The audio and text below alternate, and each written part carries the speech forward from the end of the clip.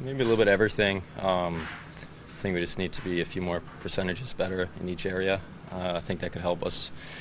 Definitely, um, you can't lose confidence. You got to keep going. So, yeah, uh, it's a grind right now. We got to find a way to get out of it and um, just small steps. Well, we didn't. We weren't able to capitalize on some outstanding opportunities on the power play.